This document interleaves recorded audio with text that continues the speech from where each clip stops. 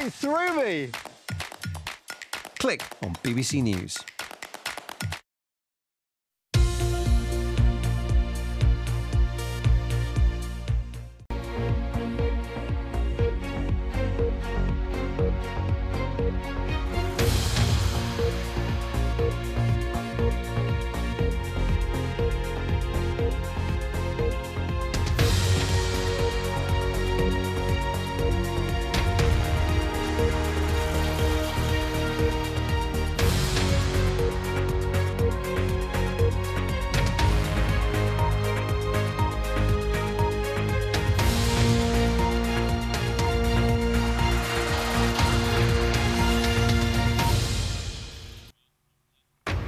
Live from Washington, this is BBC News.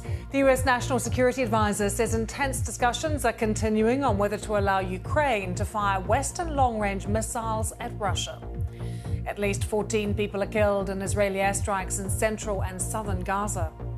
New polls give Kamala Harris a lead over Donald Trump in the wake of the presidential debate.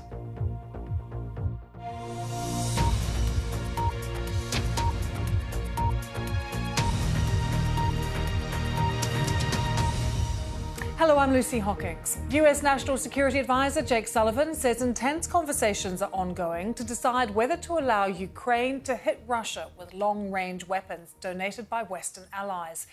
Mr. Sullivan said on Saturday that President Biden will spend the rest of his term putting Ukraine in the best possible position to fight Russian aggression. Mr. Sullivan, speaking shortly after the head of NATO's military committee, said Ukraine has the right to defend itself against Russia even beyond its own borders during the committee's annual meeting in Prague. Also on Saturday, Russia and Ukraine exchanged 206 prisoners of war in a deal brokered by the UAE.